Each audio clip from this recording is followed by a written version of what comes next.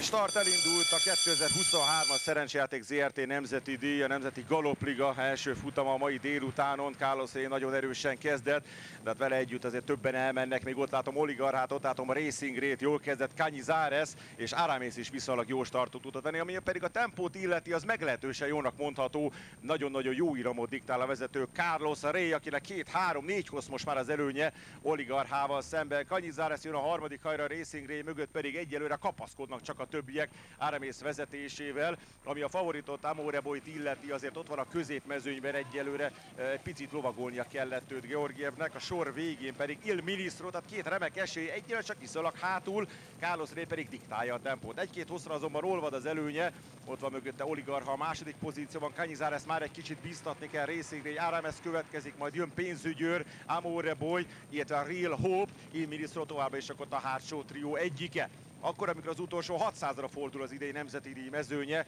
akkor Carlos Rey még vezet oligarchával szembe. Kanyizáres erősen lovagolni kell Racing Rayel is ez a helyzet. Aramész keresi az útját, és Georgiev Amore Bolt is lassacskán most már elindítja. Il Ministro is lassan megérkezik a frontba. Egyelőre még Carlos Rey az élen, Oligarha folyamatosan támadja, de akkor most elindul Aramész. Aramész elindul, és Aramész nagyon-nagyon erősnek tűnik a távoszlophoz érve. Aramész Tomás Lukásekkel az élen van. Amore jön, de most már csak dobogós lehet, mert Aramész nem lehet megverni. Arames pályafutása második versenyét is megéri a Nemzeti Díjban. Arames a legjobb, Arames a nyerő mögötte, Carlos Ré lesz a második, Amore Boy pedig a harmadik.